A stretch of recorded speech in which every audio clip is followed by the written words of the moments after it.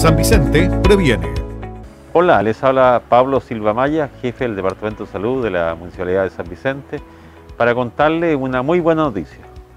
Hoy día se ha definido que a partir del jueves a las 5 de la madrugada pasamos a fase 3. Una muy buena noticia para todo San Vicente. Eso significa que vamos a tener un poco más libertades.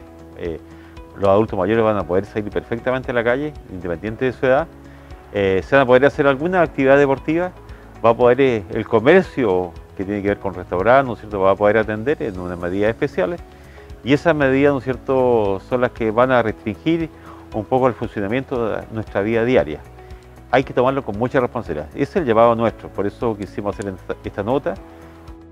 Pedirles que efectivamente no abusemos de estas pequeñas libertades que vamos ganando, este nuevo paso lo hemos logrado gracias a ustedes, a que han tenido un buen comportamiento y eso se ha notado. En el caso de hoy día hay cero casos.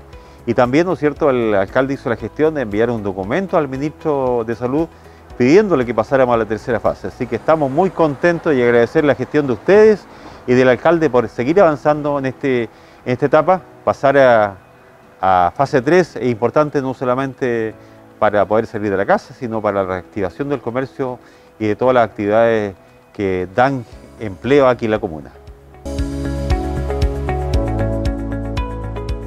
San Vicente previene.